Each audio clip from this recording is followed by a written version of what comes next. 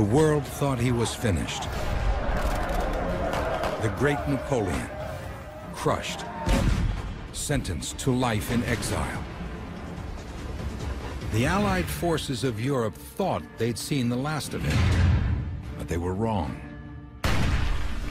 In barely a hundred days, Napoleon will break free from exile, march to Paris, marshal an army, and take on the entire continent at Waterloo. One last campaign to reclaim his empire or surrender forever.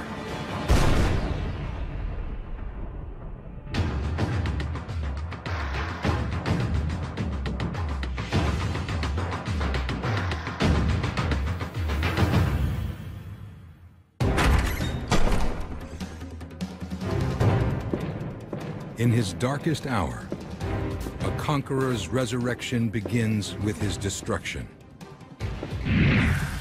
April 12, 1814.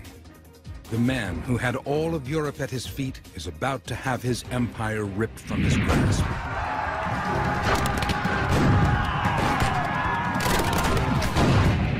Napoleon Bonaparte once terrorized the entire continent. Now he faces a terror of his own humiliation of defeat. Yesterday, his enemies, the Allies, Britain, Russia, Prussia, and Austria, forced him to surrender his crown.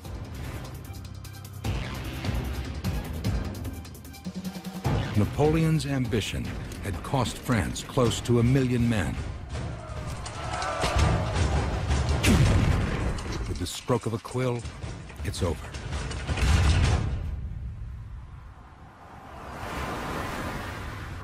His empire had devoured land from Moscow to Egypt. Now it's gone, leaving France a shadow of her former glory. The emperor faces a grim future.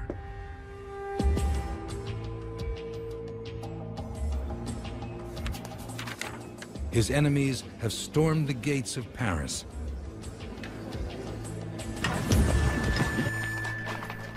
and condemned him to life in exile.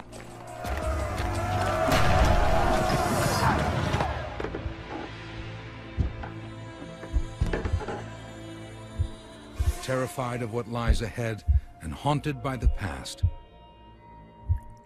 Bonaparte calls it quits.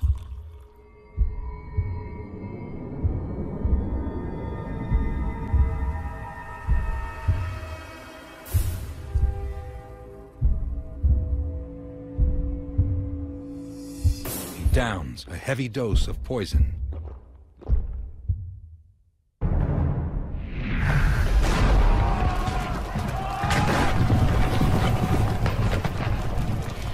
After two decades of conquest,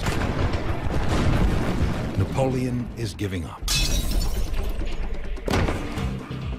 Napoleon clearly feels that the game is up. All the hopes that he's trying to wriggle out of this desperate situation, he suddenly finds that there's nothing else to do. He wanted to go out in a blaze of glory, and if he couldn't do it by winning, he wanted to do it by dying as gloriously as possible while he was still emperor.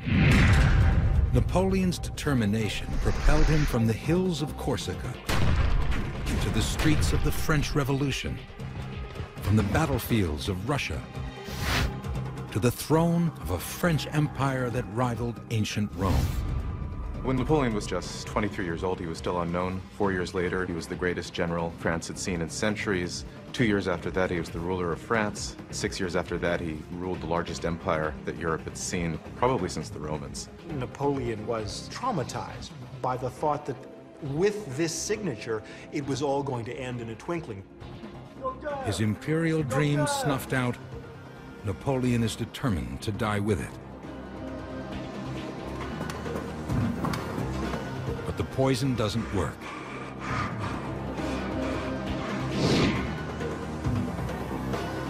He begs his doctor for a heavier, fatal dose. But the doctor refuses to finish him off. I am not an assassin. Empereur! Empereur!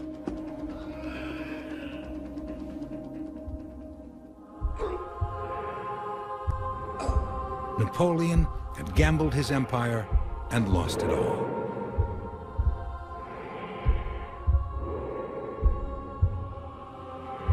But the emperor is far from finished.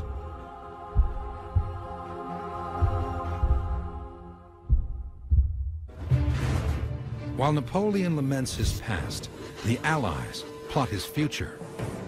They draft the Treaty of Fontainebleau, dictating the terms of his abdication and his sentence to exile. But the Allies still face a dilemma. Where do you cage a tiger? They decide on a little island called Elba, just six miles off the coast of Italy. The Allies even allow Napoleon to keep an imperial title, Emperor of Elba. Elba had the advantage of being an island, um, easily controlled, easily patrolled. Well, before Napoleon's arrival, Elba is a pretty small backwater. He was still allowed to keep his title of emperor. He was allowed to have a, an allowance from the French government of 2 million francs a year. Napoleon is too big a character to live on such a tiny place. It's like you've been managing a company and then you're asked to be the janitor. With many of the delegates fear that Elba is too close to Europe to keep such a dangerous force bottled up for long. Getting to Elba means surviving a journey through a hostile land, France. The country is full of people who now despise him, and he knows how dangerous angry crowds can be from experience 22 years before. August 1792. The Revolution.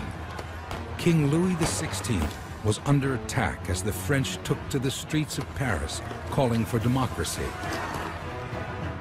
At 23, Napoleon was swept up in the tide. On August 10th, a mob marched on the Tuileries Palace to confront the king. Napoleon had a front row view. What he saw would scar him forever. The mob slaughtered the king's guards, tearing their corpses to pieces.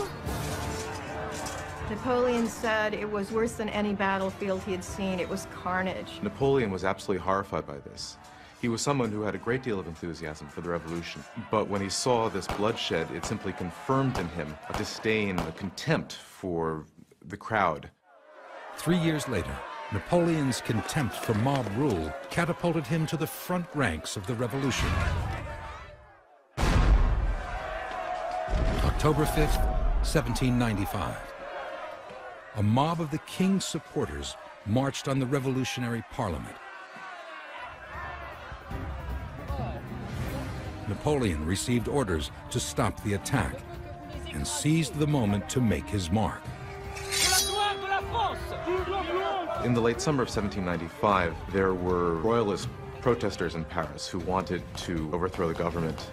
And the government called out the, the, standing army. This was the first time in the history of the French Revolution that the army had been called out to suppress the, the crowds. The mob approached, swelling to more than 20,000. Napoleon ordered his cannon loaded not with cannonballs, but with grape shot, small pellets, to hit more bodies with every blast. They dragged the cannons up to a church in central Paris called Saint-Roch, not far from the Tuileries Palace, and as the royalists streamed down towards this church, Napoleon famously shouts, fire.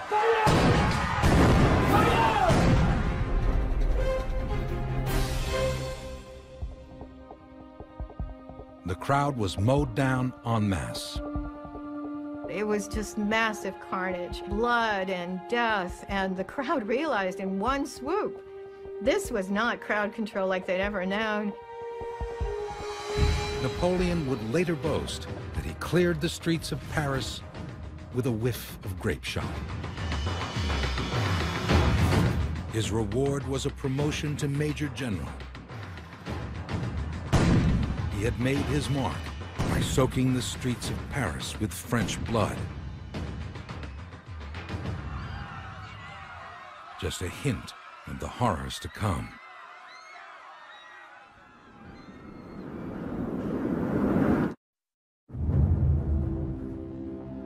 Nineteen years later, Napoleon confronts his own horror. Having failed to kill himself, he faces a bleak future of exile. Since death is no more willing to take me in bed than on the battlefield, I shall go on.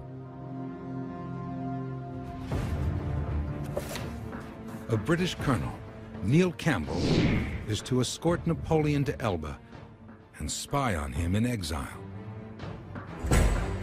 When Campbell arrives at Fontainebleau, he finds the ex-emperor a nervous wreck.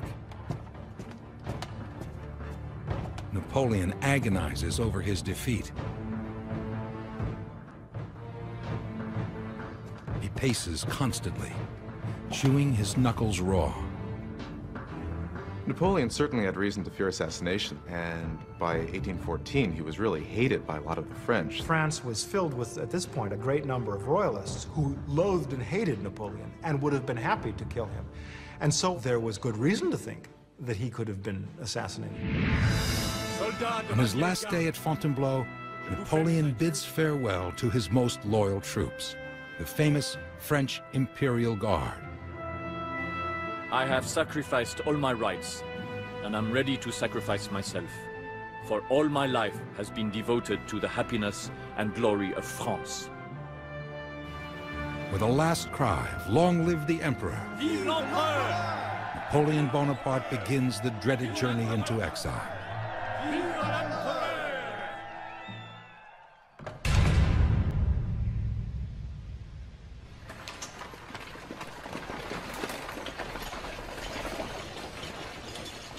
Road south carries him deep into a hostile world. If he has any hope of winning back his people, he will have to survive them first. People were very angry with Napoleon because he had been promising them victories. He had been promising them one more effort, and the empire will be established. And they had again and again provided armies with a kind of loyalty that no other general had enjoyed in modern history. And then it ended in a catastrophe. There are large parts of France that are unhappy with the way the regime has ended, and, uh, and they want him to suffer for it. At Moulins, royalists swarm the carriage, shouting, Long live the king! Napoleon orders the driver to pick up the pace. At Orgon, an effigy of Napoleon hangs from a makeshift gallows. Its sign threatens, sooner or later, this will be the tyrant's fate. Terrified, Napoleon disguises himself as a courier. It's a humiliation he hasn't felt since he first came to France as a child, 35 years before.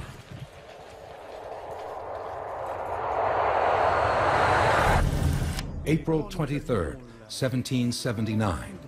A nine-year-old boy arrived from Corsica to study at the elite French military school in Brienne. But young Napoleone Bonaparte could barely speak French. His classmates were merciless. They ridiculed his Italian accent and backward country manners. Napoleon was exotic for them. He was an oddity. He came from Corsica. He spoke French with a heavy accent. He's only recently just learned French, really, and they make fun of him. They make his name sound like a piece of straw on your nose. Instead of Napoleon, it sounds like Napoleone, which means in French, you've got a piece of straw on your nose. The Corsican boy grew bitter.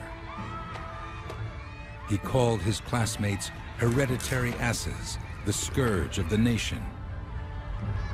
He declared, I shall do these French all the harm I can. Napoleon graduated in 1784 and entered the École Royale Militaire. He soon became a French patriot and would bring both harm and glory to the French people he once reviled.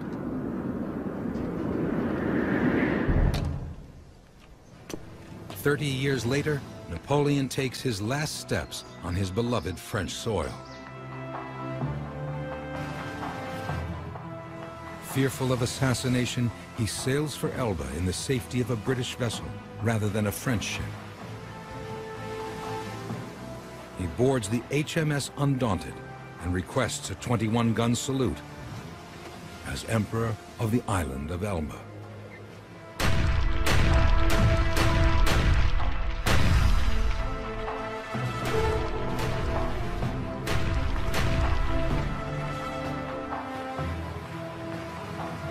As Napoleon is shipped off into exile, his enemies gather to toast the tyrant's defeat. The Allies, Britain, Russia, Prussia, and Austria plot the course of France's future. Amidst the world-class schemers, one Machiavellian icon stands alone. Napoleon's longtime advisor, Charles Maurice Talleyrand. Talleyrand served six regimes and betrayed four. He is among your most talented and bright, but most duplicitous characters of all in the French Revolutionary and Napoleonic period. Talleyrand is one of the incredible characters of this period. He was born into a, a great French noble family. He embraced the revolution and then managed to stay active in almost every regime that followed for the next 30 years. With Napoleon gone, Talleyrand switches sides to the Allies and weasels his way back to power.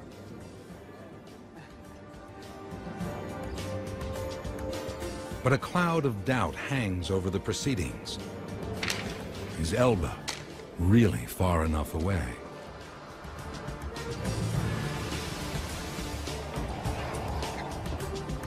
One official comments that putting Napoleon on Elba is like having Vesuvius next door to Naples. When would the explosion occur? When would those seven miles be crossed? When would Napoleon come back? It was just a matter of time. An island prison would prove no match for a force as powerful as Napoleon Bonaparte.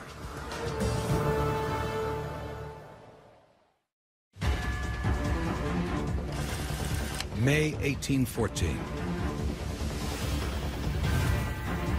The British frigate the Undaunted arrives at the island of Elba and discharges its precious cargo. The island's new emperor, Napoleon Bonaparte. Only six miles from the Italian coast, this speck of land is where Napoleon will be confined, for now. A welcoming committee whisks Napoleon to his new imperial capital, the village of Porto Ferraio. Town Hall has been converted into an improvised palace. The emperor's new throne is an old, threadbare sofa.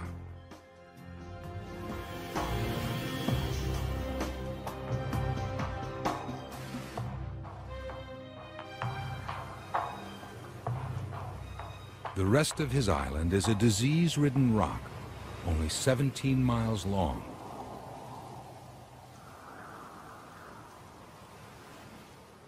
With a population of 12,000, mostly peasants, it's a feeble substitute for the empire he created and ruled for 15 years.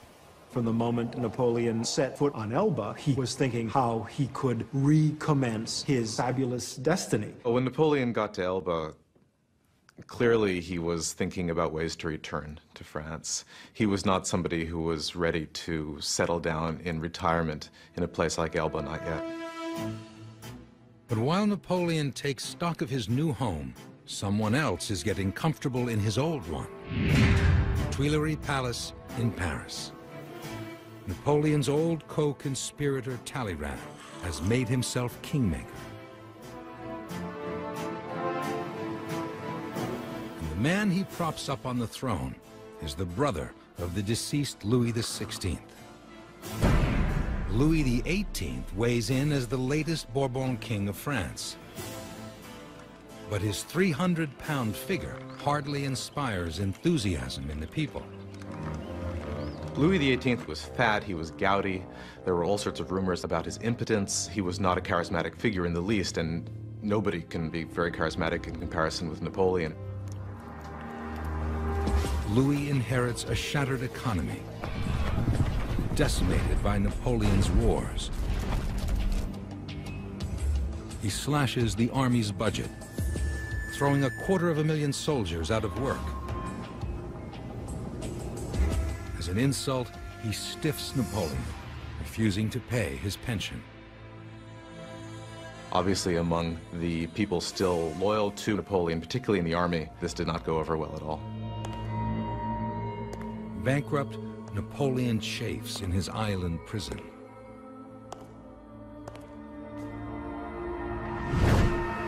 Exile is unacceptable, especially for a man who's worked miracles since he first led men to war 18 years before. March 1796. After Napoleon's triumphant whiff of grape shot, one French official warns, promote this man or he will promote himself. At 26 years old, Bonaparte was a major general with a thankless mission. The endless campaign against Austria for control of northern Italy. The young general took command of an army of some 40,000 hungry and ill-equipped men. When Napoleon took over the Army of Italy in 1796, it was in desperate shape. The men did not have enough to eat, their uniforms were in tatters. Above all, they didn't have the boots to march. One of his famous declarations is, you are poorly fed, you are poorly dressed, and you've got no food, but we're going to win anyway. Napoleon taught his men to live off the land. He camped with them, ate with them, and won their undying devotion. Napoleon was a psychologist, a psychologist of his men. At the moments of greatest pain and likeliest defeat, he was able to win superhuman amounts of suffering and devotion. But Bonaparte's obsession was speed.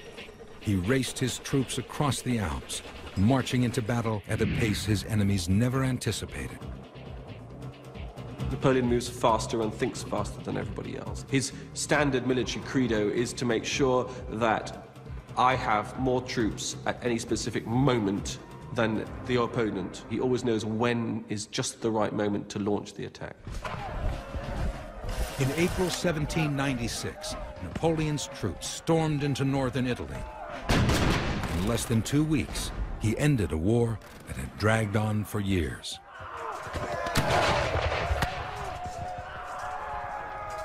He then took the battle to the Austrians.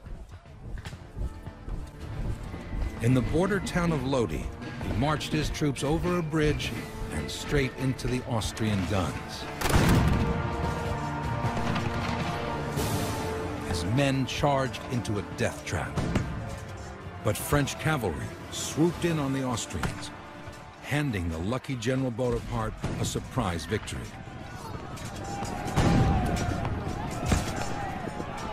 It wasn't any great battle. In fact, it was a bit of a mess. It wasn't uh, a particularly great performance by Napoleon or by his army, but he won the battle and started to establish the legend. Napoleon is a great publicist. He is the master of spin. Throughout the whole of the Italian campaign, he's publishing his own newspapers, which say things like, floats like a butterfly, stings like a bee. This is the kind of thing he's printing in his own newspapers about himself. Over time, Napoleon transformed the near disaster at Lodi into an act of battlefield brilliance. His Italian triumph made him the most popular and powerful soldier in France. The results of the first Italian campaign for Napoleon were extraordinary. French generals had been trying to conquer northern Italy for centuries, and none of them had succeeded. Napoleon not only succeeded, but seemed to do so almost effortlessly. He did what nobody else had done previously. That was enough to establish him as the most important general in France. But the hero's public confidence evaporated in private. He could redraw the boundaries of Europe, but there was still one thing he couldn't control. His wife. Just two days before marching off to Italy, Napoleon had married a woman six years his senior, Josephine de Beauharnais. Josephine de Beauharnais was a very unlikely wife for Napoleon. She was older than he was. She was a Creole, originally from the island of Martinique in the Caribbean. She had been widowed when her husband was sent to the guillotine in the Revolution. Napoleon is obsessed with Josephine. He's completely bowled over by her, as we see from the early letters. These extraordinary, passionate letters that he writes day after day. The lovesick general poured out his passion in daily letters from the battlefront. Josephine sent almost nothing in response.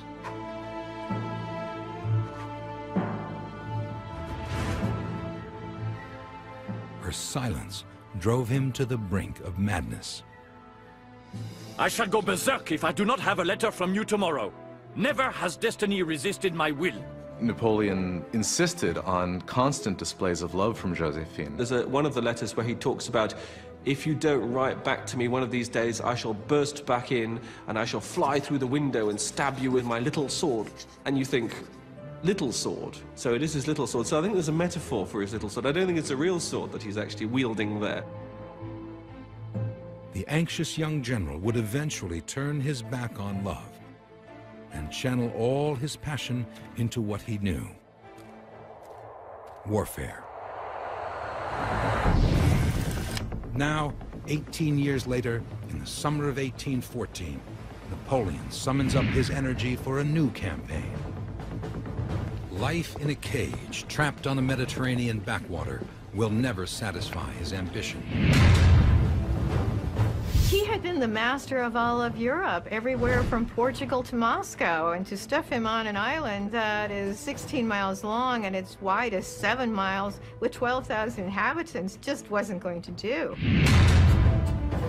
When you are on a small island, once you have set in motion the machinery of civilization, there is nothing left to do but perish from the boredom, or to get away from it by some heroic venture. Napoleon Bonaparte is about to launch an attack that will shake all of Europe.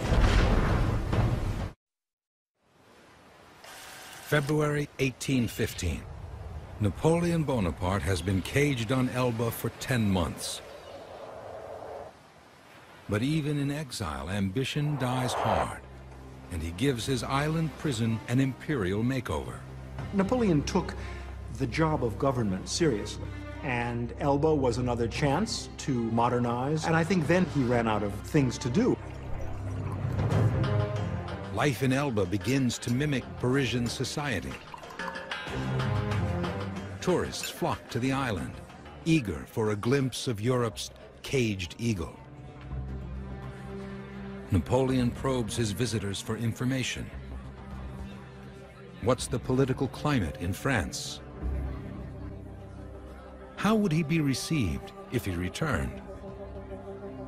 He keeps up the run of Elba social life. He keeps the Kingdom of Elba running, and at the same time, he is in contact with Bonapartist supporters in France. Elba was not at the far end of the planet. It was easy for him to have news of Europe, of the continent of France. Napoleon was well aware of what was taking place in France and in Vienna. While the Allies redraw the map of France, Napoleon plots an escape from Elba and a campaign to reclaim his throne. The plan requires total secrecy.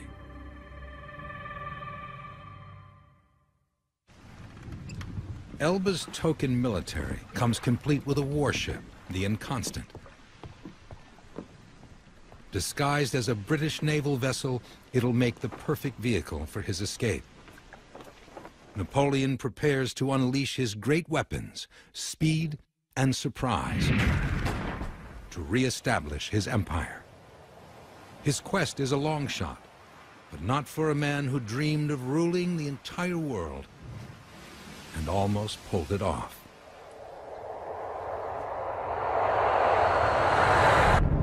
May 1798. Young General Bonaparte dreamed of conquest. His global ambition found an ally, Talleyrand. The devious foreign minister suggested he begin with Egypt. The British dominated world trade. To destroy their monopoly, Talleyrand convinced Napoleon to cut off their supply routes in Cairo. On May 19th, Napoleon set sail with more than 35,000 men.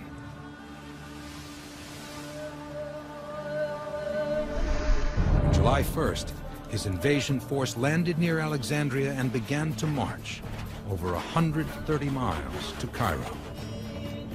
But the Mamelukes who ruled over Egypt weren't about to surrender.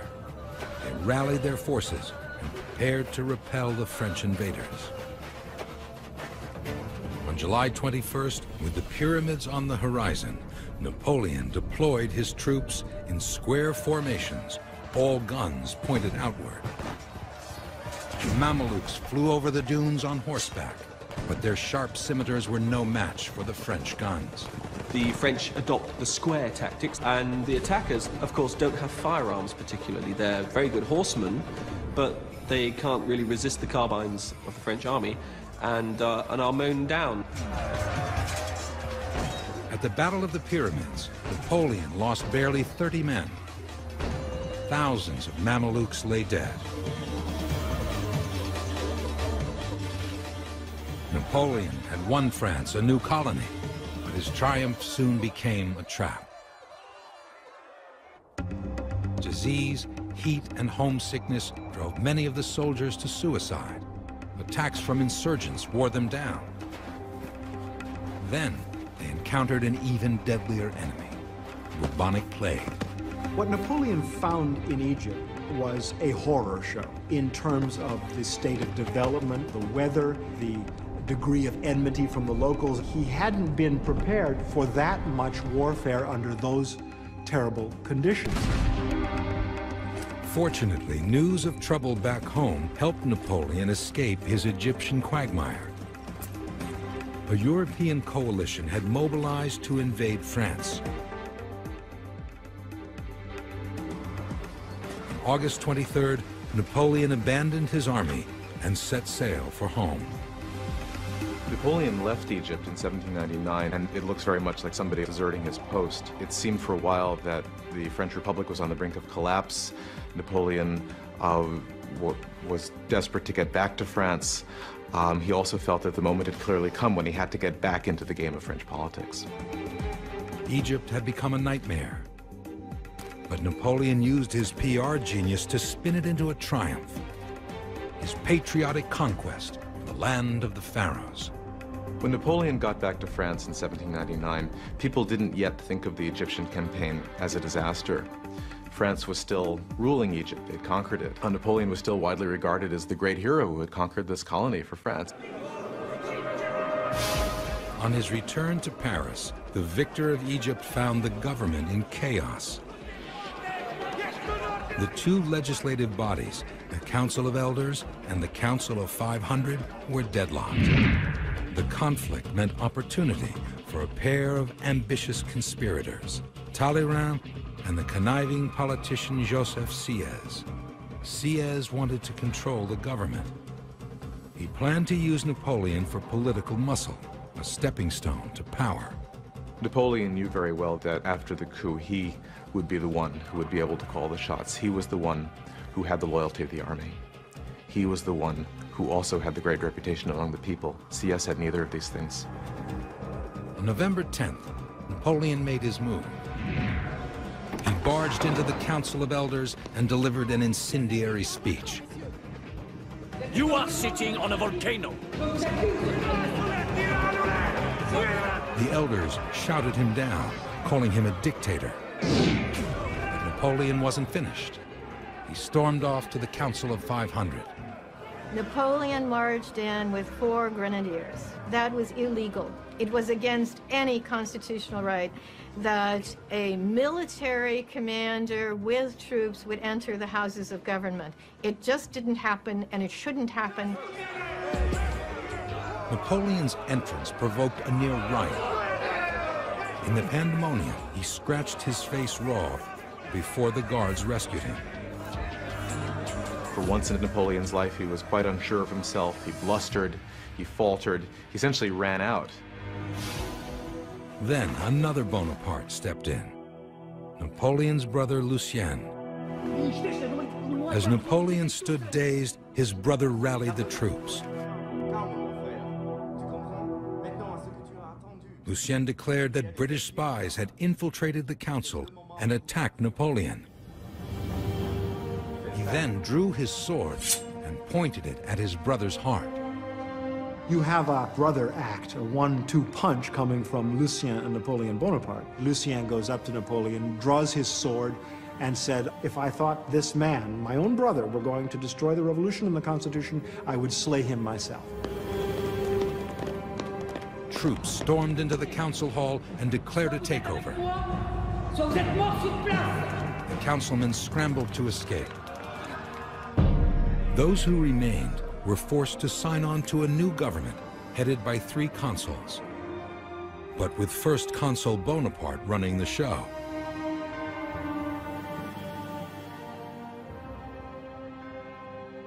Napoleon, the 30-year-old general, was officially the government of France, the embodiment of the will of the French people.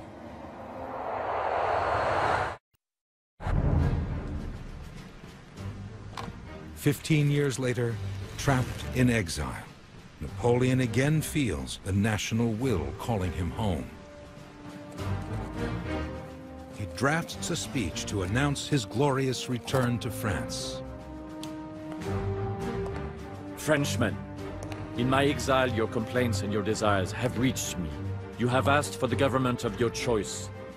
The eagle will fly from village spire to village spire, even to the towers of Notre Dame. The Imperial Eagle is about to take flight.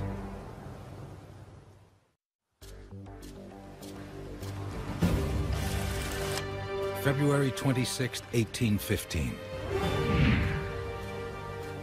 The most dangerous prisoner in Europe is about to stage a breakout. Napoleon Bonaparte is escaping from Elba. Accompanied by a contingent of imperial guards, Napoleon boards the ship the Inconstant and sails for home. A prisoner of his own ambition, Napoleon wants his empire back. An empire he imposed on the world when he crowned himself emperor 10 years before. After seizing power as first consul, Napoleon quickly stabilized the country, stamping out the spasms of violence that had rocked France since the revolution. What Napoleon accomplished as first consul was really very considerable. He imposed order, and he set up the basis of a durable government. Napoleon snuffed out critics and opponents of his new regime with harsh justice. The repression sparked growing resentment and one band of angry citizens vowed to make the new first consul feel their hatred. Christmas Eve, 1800. Napoleon headed to the opera for a performance of Haydn's creation. Ahead, on a corner of Rue Saint-Nicaise, an ordinary wagon loaded with everyday barrels, except one, packed with explosives. Napoleon, always in a rush, flew by. A split second later, the bomb went off. The explosion killed eight people and wounded dozens. But Napoleon wasn't among the casualties. He actually went to the opera and put an appearance there, and when news spread that he had almost been assassinated, uh, the spectators simply rose, rose up and cheered him. The attempt on his life gave First Consul Bonaparte an excuse to crack down even harder and cement his grip on power. Thereafter, people ask the question, what happens if Napoleon dies? And so Napoleon encourages the debate as to what happens to the state if he's not there. Napoleon called for a national referendum.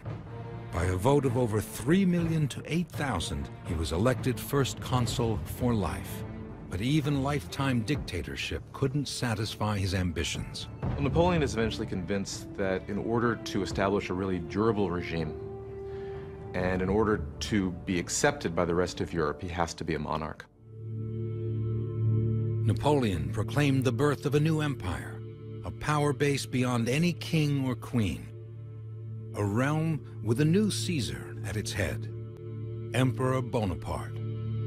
To declare yourself emperor was in no way the same thing as making yourself king. In making himself emperor, Napoleon and his contemporaries did not see himself as becoming a monarch in the old regime sense of the term. He was occupying a Roman position that had all the glory that attached to Roman history. On December 2nd, 1804, Napoleon's family, his court, and the Pope himself gathered in the darkness of Notre Dame Cathedral.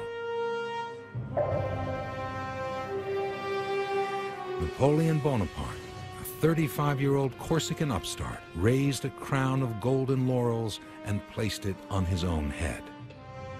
He staged this incredible, grandiose coronation ceremony for himself, but also to get the Pope there, to get the Pope in his presence so that Napoleon would be accepted as legitimate by Catholics both inside of France and outside. I wanted to rule the world, and in order to do this I needed unlimited power. The world begged me to govern it. Sovereigns and nations vied with one another in throwing themselves under my scepter. In a single moment, Napoleon served the world notice. His ambition knew no limits. His empire would have no boundaries. The benefits of the coronation, in terms of the effect it had on Europe, the, the other monarchs, uh, the fact that the Pope came to Paris and performed this ceremony was spellbinding.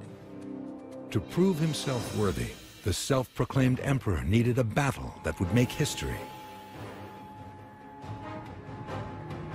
One year later, he got the perfect opportunity. October 1805, Napoleon's old enemy Austria was on the offensive. The Austrians wanted to keep the upstart empire out of northern Italy. They forged an alliance with Britain and the giant of the East, Russia. Napoleon struck back with his Grande Armée.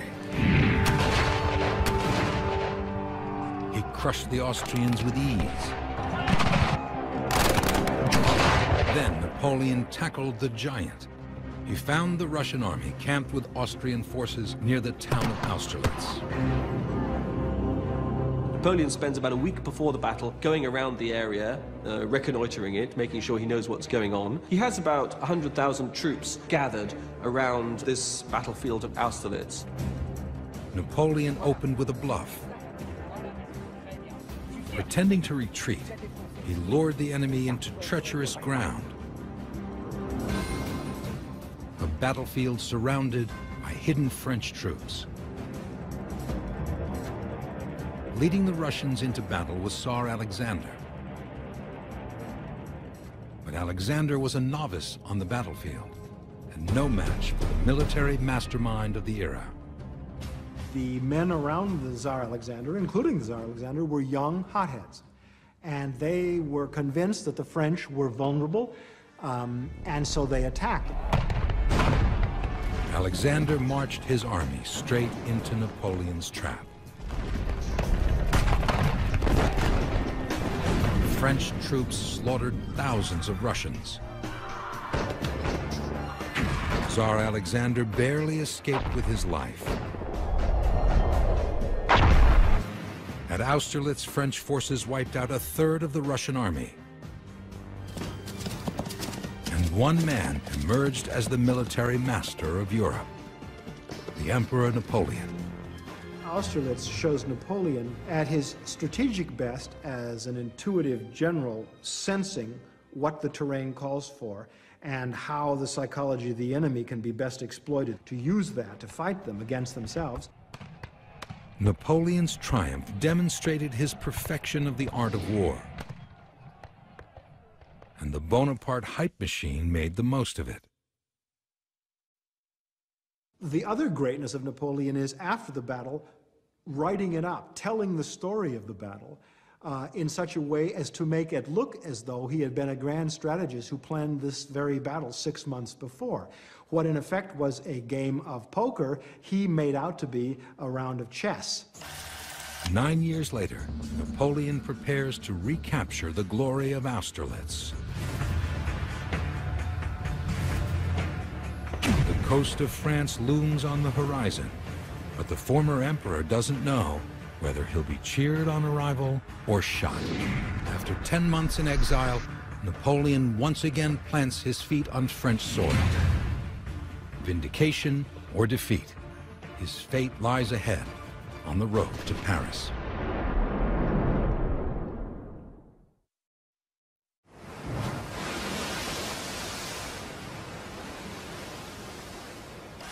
February 1815. Only 10 months after being banished, the Emperor is coming home. The prisoner of Elba has broken out of exile. Napoleon's invasion of France has begun. Napoleon doesn't know what his reception is going to be in France. He obviously has his supporters, but he doesn't know how much those who've gone over to the royal party will follow him. So it is a gamble. Napoleon lands at Golfe-Juan with secrecy on his side. But the emperor wants his comeback seen as a legitimate return to power, not a military coup. Well, one thing that Napoleon had to promise the French at this point was that he would not plunge them back into the kind of disastrous wars and that he would not reestablish the kind of repressive regime that he had um, presided over during the empire. So Napoleon promised that he would try to take back France without firing a shot. Napoleon's audacious march on Paris begins in the foothills of the Alps. Napoleon and his men move like the wind, 30 miles in 24 hours. They pass through Castellane, Digne. Still, no one rises up to stop him. This man has bled the French Empire dry. He has left the bones of men and boys to bleach on the sands of Egypt, on the steppes of Russia, in central Germany, in northern Italy, in Spain. He has brought his empire down with a resounding crash around him. How is it that the French don't shoot him on sight?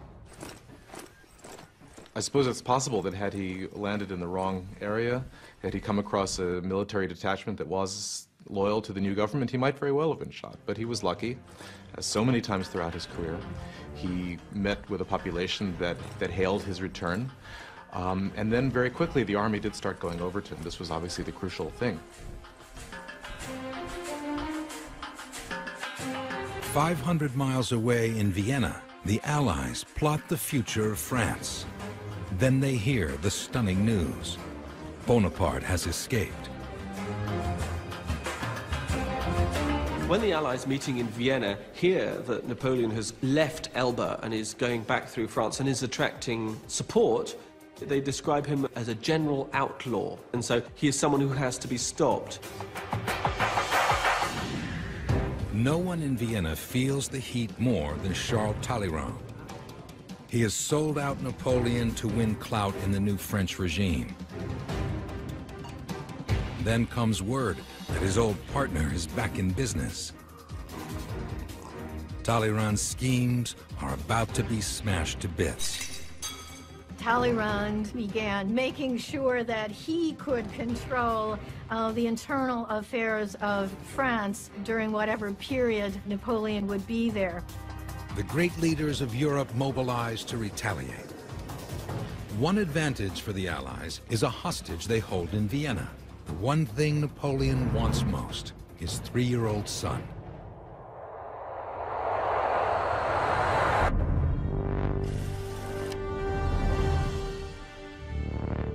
At the height of his imperial power, Napoleon Bonaparte had it all. An empire, an adoring populace, and an empress at his side.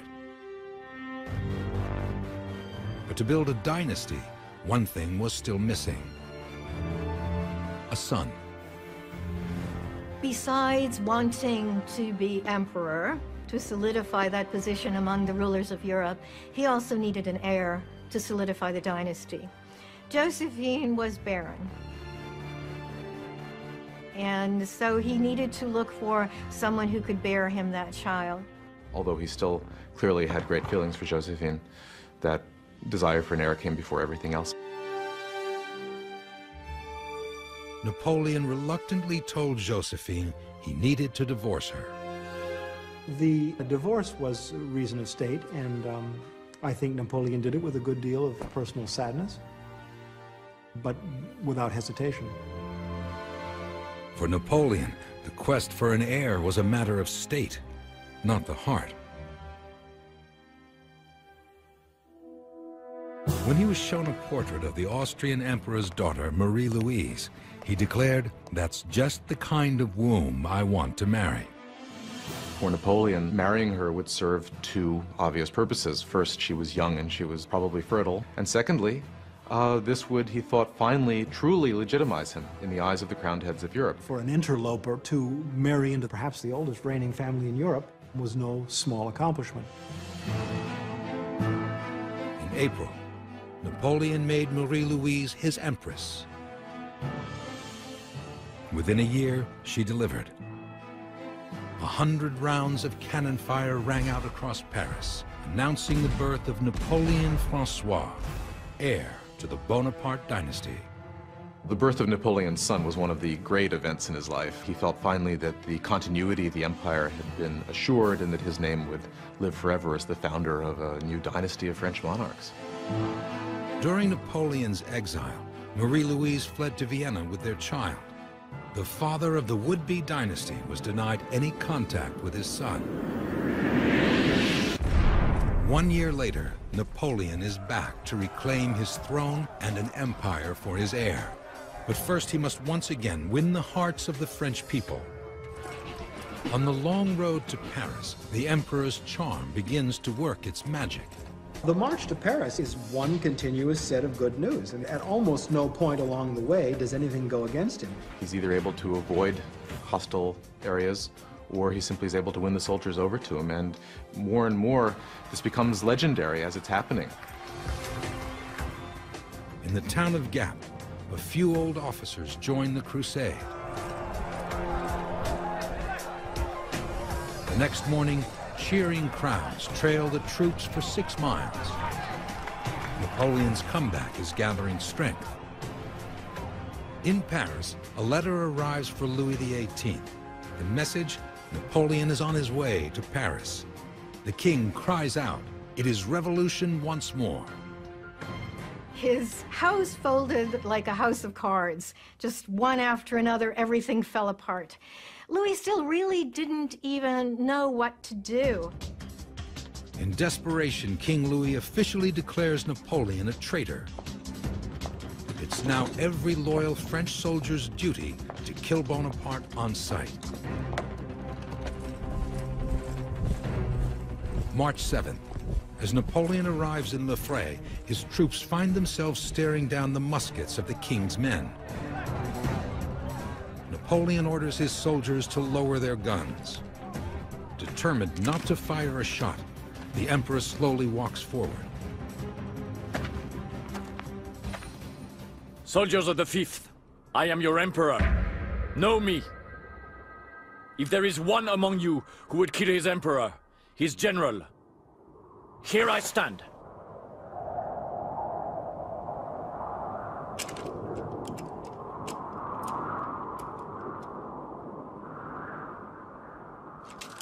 The king's men drop their guns. Shouting, long live the emperor, they rush to embrace Napoleon. This power of character somehow makes the, the troops that were opposing him join him and continue this extraordinary flight of the eagle, as it's called, when he comes up from the south of France to Paris. It's hard to say whether Napoleon still had a real spell over France at this time, but he had a spell over the army. He was the person who had brought them, yes, to terrible defeat, but he had also brought them to glory. He had inspired incredible loyalty in the French army, and this great gesture of, the, of coming back to France, of defying the Allies, of landing, simply inspired people in a way that hardly anything has ever inspired people in history. And they followed him. It was really a good indication to Napoleon that his personal charisma was still there. And from then on out, he was building an army and that whole spirit yes, we can have it back. Yes, we can be great again. Here he is to lead us on. It was there. The pride of France, Emperor Napoleon Bonaparte, is back.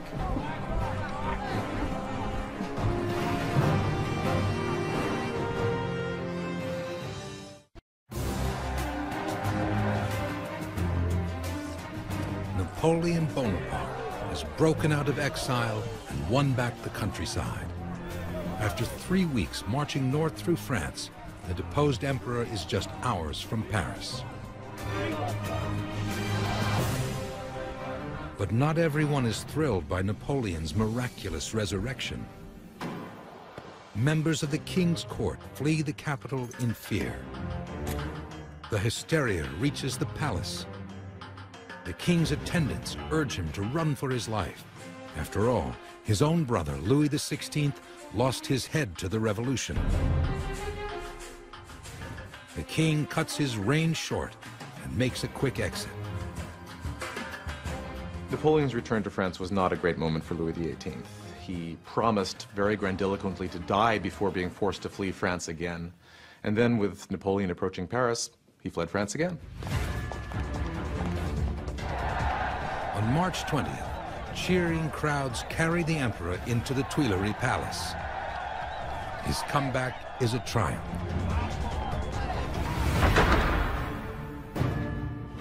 In just 20 days, he has reclaimed his crown and country, true to his word, without firing a single shot. But the final piece of the imperial puzzle is missing. His son and heir. The Austrian emperor forbids any reunion between Napoleon and his son. For the Allies, not letting Marie-Louise and Napoleon's son go back was a clear sign that they considered his return utterly illegitimate. It would have caused great problems for the Allies had the Austrian emperor's daughter been there back in France as empress. It would have seemed to give legitimacy back to Napoleon and his empire. They weren't going to let this happen. The emperor isn't the only one missing a son. After nearly 20 years of Napoleon's bloody wars, hardly a family in France hasn't sacrificed a son to conscription, the draft. Conscription was probably the one single thing that people hated the most about his regime. It took young men um, away from their families and sent them off for years where they'd have hardly any contact with their family. Back then, if you went into the army, there was a very great chance that you'd die of disease before you even met the enemy.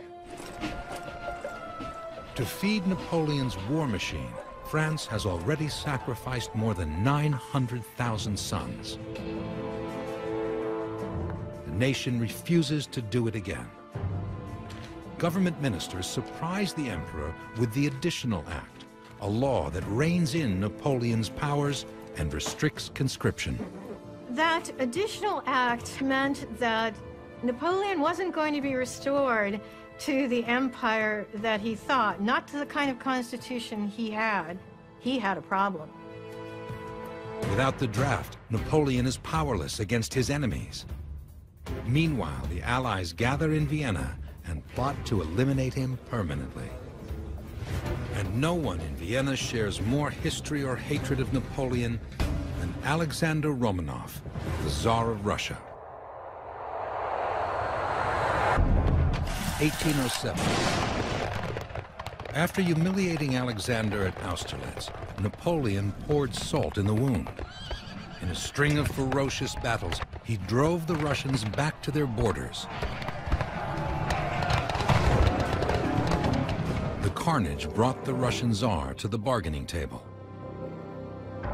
In a tent on a raft in the middle of the Niemen River, Tsar Alexander I and Napoleon Bonaparte met face to face for the first time. Je suis enchanté d'enfin vous rencontrer, Alexandre. Euh, s'il vous plaît. Je suis tout à fait d'accord. And something unexpected happened. Napoleon was charmed. His first remarks to Napoleon when they meet in this raft is, I hate the English as much as you do. And then Napoleon replies, Well, if that's the case, I think we can do business. Napoleon was ready to embrace Alexander. He was ready to almost fall in love with him. And he did. He wrote back to Josephine saying, If Alexander was a woman, I'd marry him. Alexander is very romantic about his vision of Napoleon, and he, as it were, falls in love with Napoleon. He falls under the spell of Napoleon. What's clear is that the two of them seduced each other. For once, somebody did a number on Napoleon. The leaders signed the Treaty of Tilsit, effectively blockading trade between Europe and France's arch-enemy, Britain. They talked about how they would divide Europe, where they would draw the boundary line. This belonged to Napoleon, this belonged to Alexander. Where Alexander could expand south of Russia, Napoleon could continue the control of Western Europe. Je suis tout à fait d'accord. The two rulers parted, with Napoleon believing he had dealt the British a death blow. But before the afterglow of their summit had time to dim, Napoleon discovered that Russia was secretly trading with Britain. Alexander had betrayed him. The Russian economy was in desperate straits, and Alexander needed to trade with Britain and needed to trade outside of, outside of Europe. And so he gave in eventually, and Napoleon was crushed. Napoleon was furious at Alexander's infidelity. It was proof that he could trust no one. If he was to rule Europe, he would have to do it alone.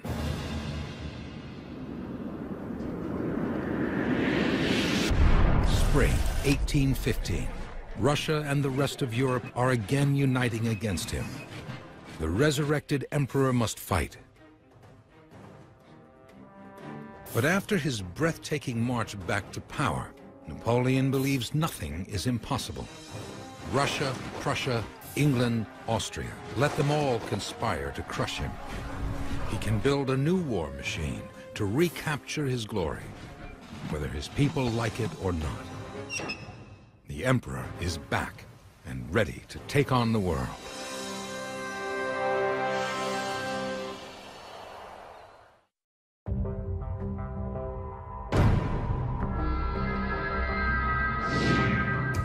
Eighteen fifteen.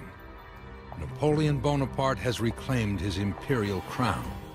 He's defied the other nations of Europe and begun a 100-day quest to rebuild his empire. The French people have again given him their hearts, but not the dictatorial powers he once enjoyed. New legislation strips the emperor's right to draft an army. But laws have never stopped Napoleon before.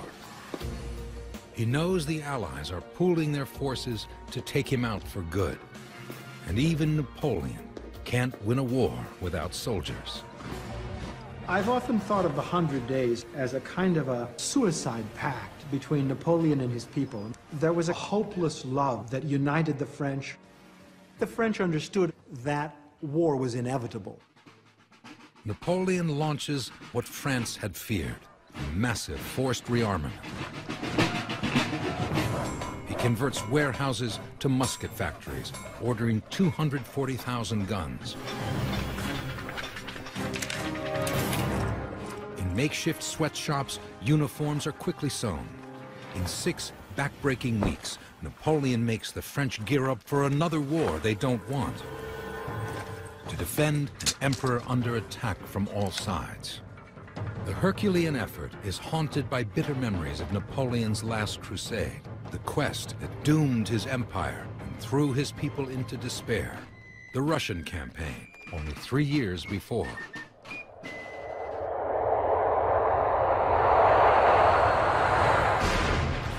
June 1812. At the height of Napoleon's power, his one-time friend, Tsar Alexander of Russia, had double-crossed him. To punish the Tsar for secretly trading with Great Britain, Napoleon staked everything to invade Russia. What he wanted to do is he wanted to teach Russia a lesson and essentially to humiliate it, to knock it out of the war. He wanted to crush its army. Napoleon drafted men from every corner of his empire, from Poland to Italy, and put together one of the largest armies ever seen in Europe. a fighting force of 600,000 men. The Russian campaign was, without question, the greatest campaign in European military history to that point, and it required all the resources of the Grand Empire to bring it off. Napoleon believed he could do almost anything. You have to remember that. He could move his troops at lightning speed. He could live off the land. He could do all of that. So they would go to Moscow. They would have one great pitched battle. Alexander would capitulate. He would be told his lesson. Napoleon could then control Europe as he pleased. It didn't happen that way.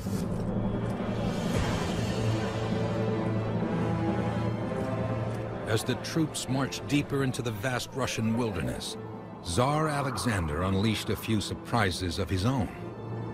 Knowing that Napoleon's men survived by living off the land, Alexander dealt the French a death blow. He scorched the Russian earth, obliterating any hope of foraging for food. The farther the French penetrated, the more the Russians were forced to do that. And then they drew Napoleon and his men farther and farther and farther into Russia. Hunger and fatigue devastated Napoleon's men. Over 10,000 horses died, slowing movement to a crawl. They suffered enormously. For a while, the road there, as dysentery struck, became the longest and foulest open latrine in human history, and the soldiers just died of dysentery. After two months' hard marching, Napoleon's Grande Armée caught up with Alexander's men 70 miles from Moscow, near a town called Borodino.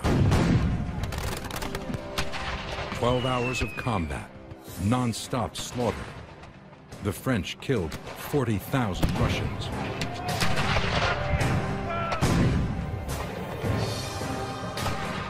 Still, Tsar Alexander wasn't about to surrender.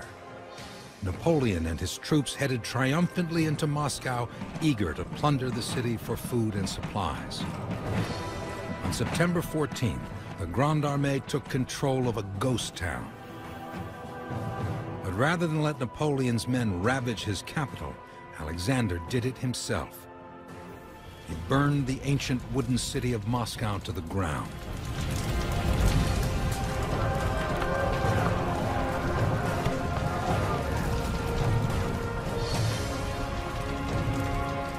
Firestorm left little food, few supplies, and winter was approaching fast.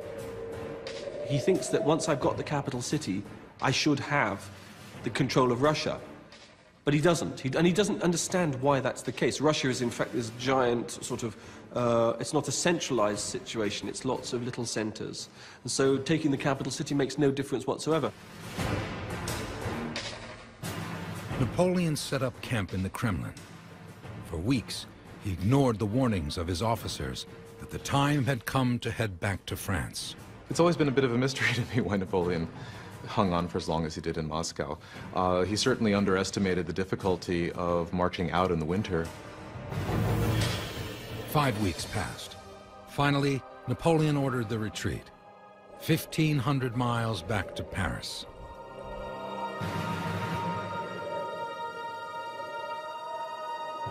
They started to march out of Moscow, and very quickly they ran into the Russian winter. They had never seen anything like this before.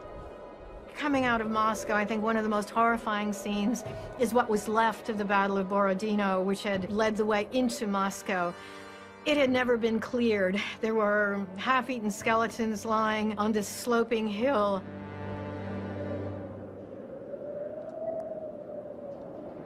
Fierce blizzards splintered Napoleon's army. Packs of Cossacks flew in through the snows on horseback and picked off the French one by one. Thousands starved or froze to death. Some even turned to cannibalism to survive.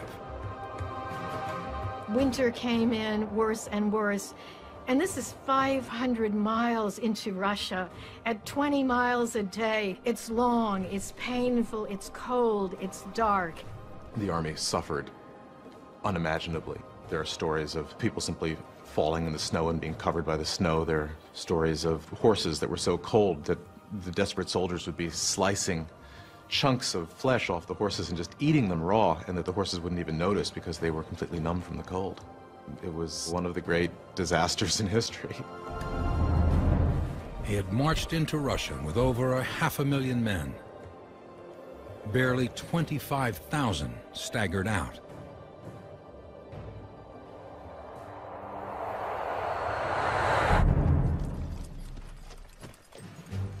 Back in Paris, Napoleon confronted a nation disillusioned by his disastrous Russian campaign. Prussia and Austria were planning an invasion of France, and the French people had little resistance left.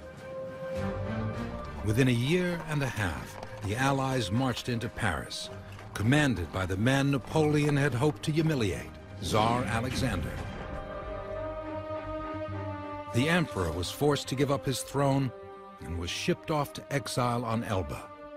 In the spring of 1814, Napoleon's reign was over.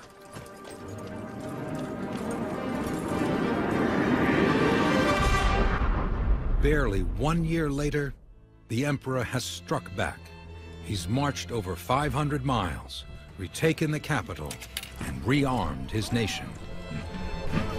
Napoleon is reviving his war machine to defend his comeback. Not even the Russian nightmare has humbled him. The Emperor is taking France to war one more time.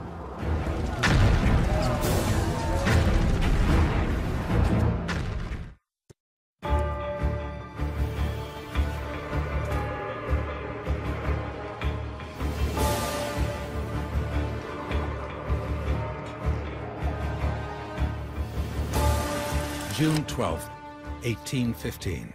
In just 10 weeks, Napoleon Bonaparte has drummed up an army of over 100,000 men.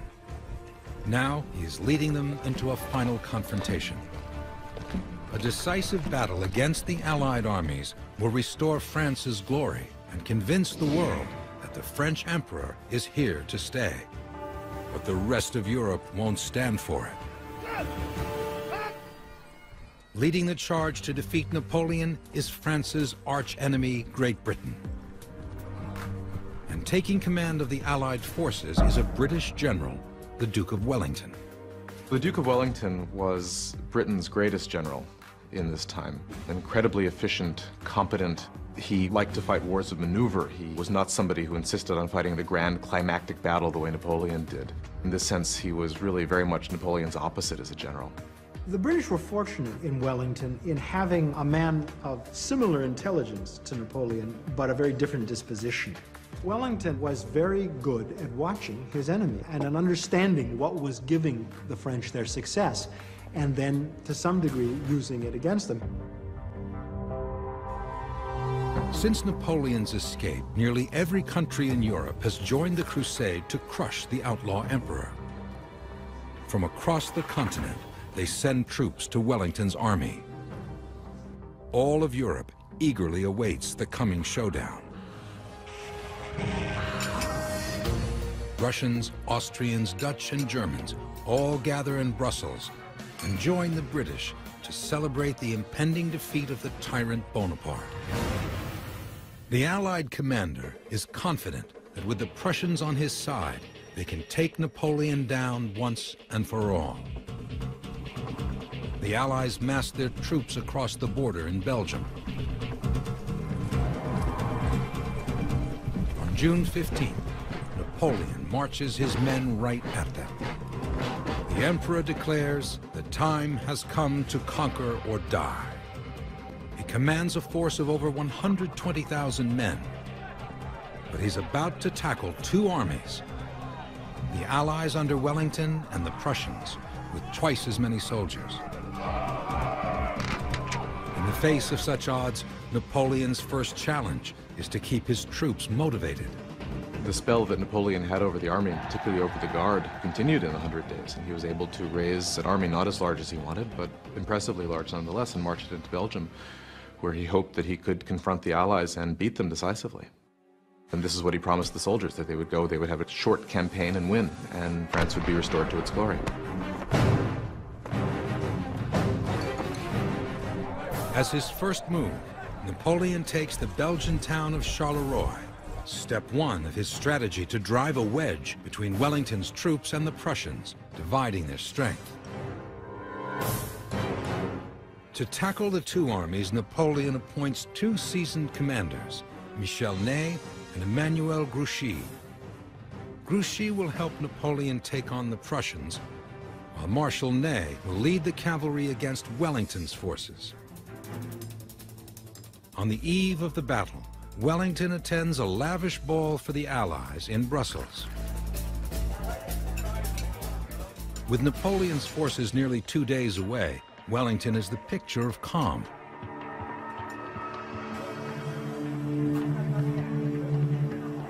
But after midnight, the message arrives from the front.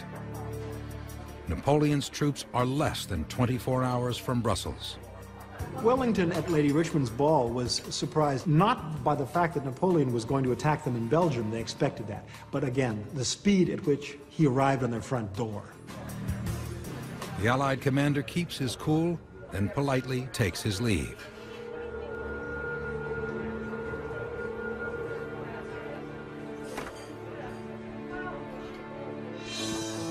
Wellington's plan had been to head off the French at the nearby town of Quatre Bras. Once again, Napoleon has beaten the Allies to the punch. Wellington supposedly remarks, he's humbugged me by God, and immediately leaves the ball and starts organizing his army to go fight.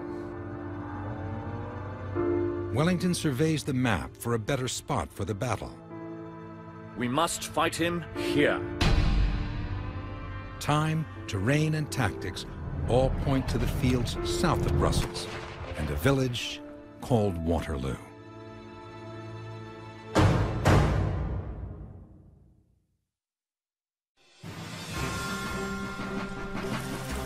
June 16, 1815. The fate of Europe, France, and the modern world's greatest warrior meet at a crossroads in Belgium, Waterloo. For Napoleon Bonaparte to survive, he must win the battle of his life. 120,000 troops against an enemy nearly twice the size. The combined armies of Prussia and Britain. Napoleon has beaten the odds before, but now he seems a haunted man. He hesitates, slow to issue commands. But the war won't wait. Napoleon's right-hand man, Marshal Ney, opens the assault. 4,000 French cavalrymen draw their sabers and charge. But Ney orders the attack too late, giving Wellington's infantry time to form an unbeatable defense, impenetrable square formations. The way you beat the cavalry is you formed your soldiers into a square, bristling with muskets firing out uh, phalanx of a sort. And it was very difficult for cavalry to come up against a square like that. The horses would not charge into a square. They would draw up and then they'd be vulnerable. Wellington waits until the French are within 30 yards and gives the command. Ney's horsemen fall like broken toys.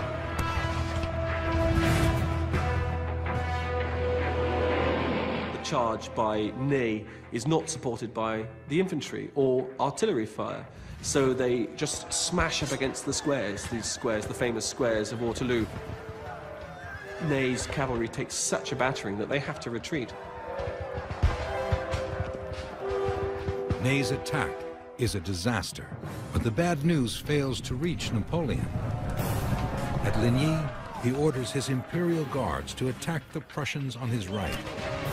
His finest troops launch into the enemy, obliterating whole regiments. As the Prussians fall back, Napoleon sends Marshal Grouchy to finish them off.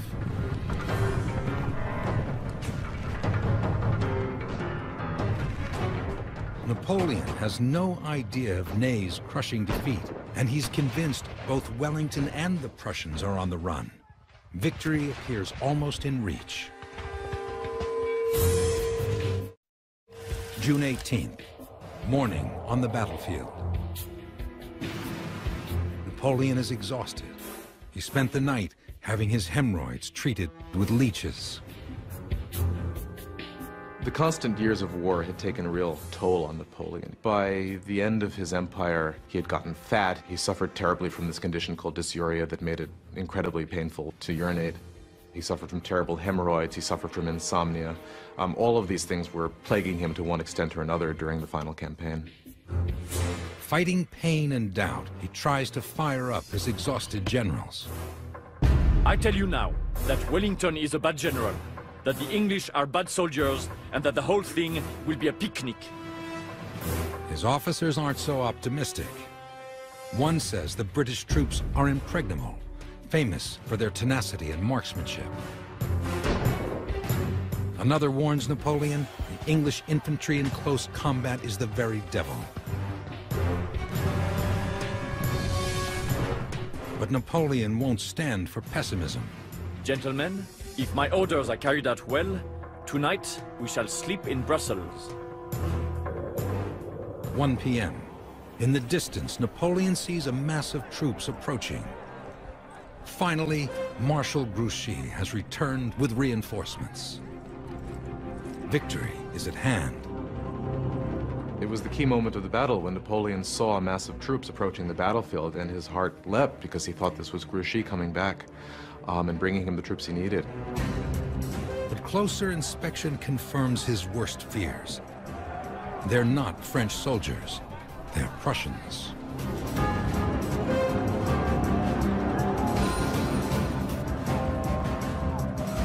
There were 35,000 Prussians on Napoleon's right wing, so he was already being enveloped on the right wing as early as 2 o'clock in the afternoon. So clearly a very critical situation. At Four o'clock, Prussians tear into Napoleon's right flank. By seven, Prussian and British troops are closing in on both sides. Napoleon's last hope lies in his loyal Imperial Guard. The Imperial Guard are uh, the elite corps. They are the creme de la creme. They started off as Napoleon's bodyguard, gradually grew and grew and grew until it became a corps in its own right. This is his personal private army. Napoleon rallies his most loyal troops with a lie. He tells them Grouchy has returned with 30,000 more troops. The numbers are on their side. Their spirits lifted, the Emperor's faithful Imperial Guard charge forward. Napoleon's last-ditch effort to save his empire hangs on the strength of his finest troops. They've saved the day before. If they fail now, the Emperor and his empire will be crushed forever.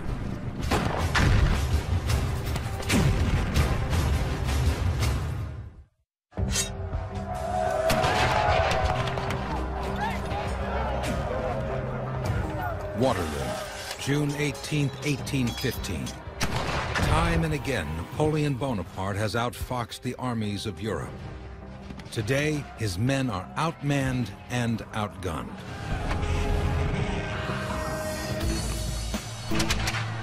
British and Prussian regiments surround the French.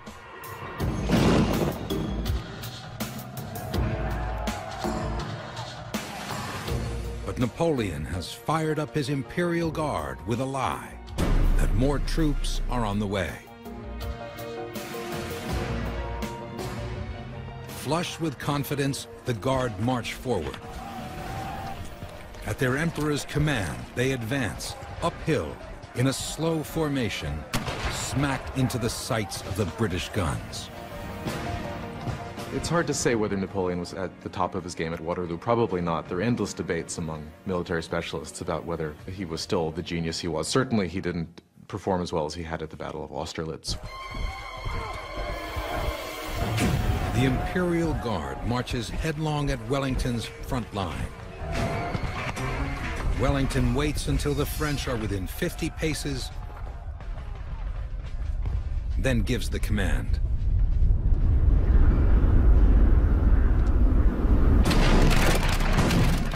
less than 60 seconds, hundreds of French soldiers are mowed down. British cavalry fly over the hill and strike the final death blow.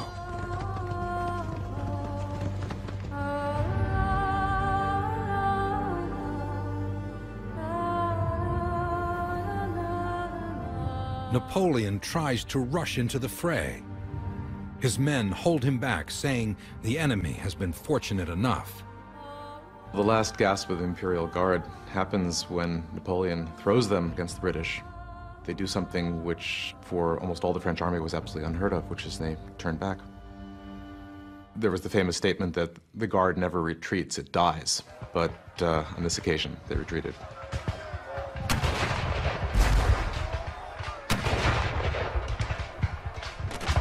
French forces break into full frenzied retreat. A few guardsmen hold out long enough to cover the retreat of the emperor himself. Napoleon's comeback is over. Waterloo, he was outnumbered. There were, in theory, 200,000 Allied troops nearby, and he only had about 80,000. I think the French probably performed as well as they could have done on that day. June 19, 1815. Napoleon's last campaign to terrorize Europe has terrorized no one more than his own people. In just two days, 25,000 French soldiers are slaughtered. Even as he slinks home in disgrace, Napoleon refuses to accept defeat. Napoleon didn't give up. He wrote his brother and said, Joseph, we can get more horses to pull cannon. I can get some more men together. This is just a skirmish. Carnage all over the battlefield. Incredible death. Napoleon fantasizes new campaigns. But now hardly anyone in France will support his madness. June 22nd, the Prussians are closing in on Paris. At his palace, Napoleon receives the Allies' formal demand for his abdication. He erupts in a tirade and raves about reviving the terrors of the revolution to save his reign. But his delusion finally comes to an end. It is too great a price to pay for one man's life. I did not return from Elba to drench Paris in blood. After barely a hundred days in power, and only four days after his defeat at Waterloo, Napoleon gives up his empire for the second time.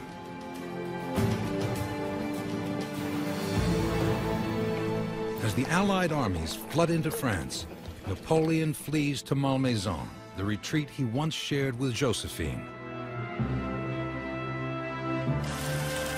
On June 29th, a message arrives that the Prussians are poised to storm Paris. Napoleon must flee or face capture. Instead, he explodes in a final outburst. France ought not submit to a handful of Prussians. He rushes up to his bedroom and emerges dressed in the uniform of the Imperial Guard. All is not lost. He pledges a new crusade to crush the enemies at the gates of Paris. After the Battle of Waterloo, with hindsight, it looks pretty clear that this was the end of the road for Napoleon Bonaparte. He really had no cards to play with at this point. And so finally, he dressed this up as doing it for France, that he was doing it for the good of his people who wouldn't be subjected to more war.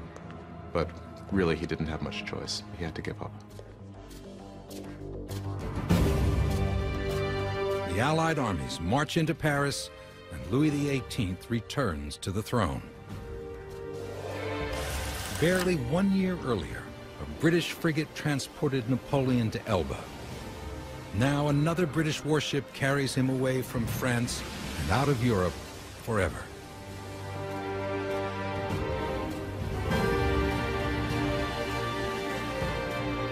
The fury of Napoleon's 100 days taught the Allies a bitter lesson about exile. This time, they take no chances. The man who had dominated an entire continent will live out his final days on a speck of rock 1,200 miles from the African coast, the remote island of St. Helena.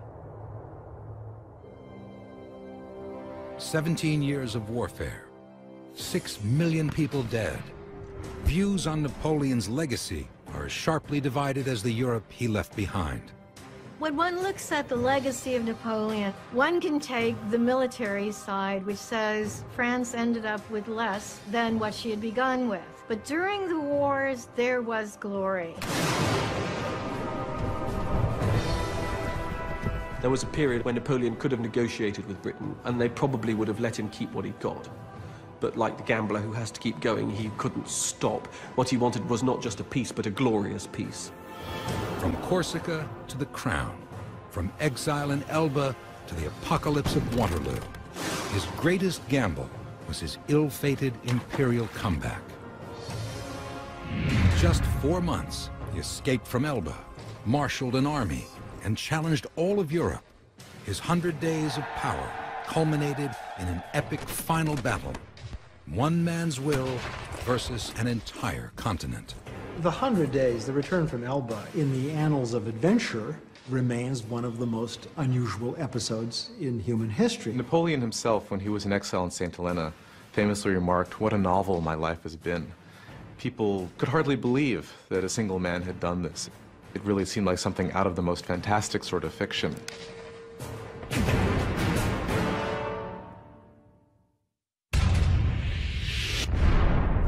May 5th, 1821. At 51 years of age, Napoleon Bonaparte dies. The Corsican upstart who shook the world enters the realm of history.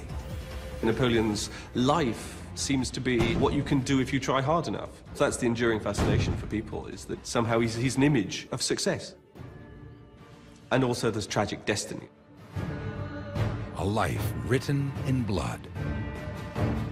Conqueror, emperor, prisoner, Napoleon Bonaparte.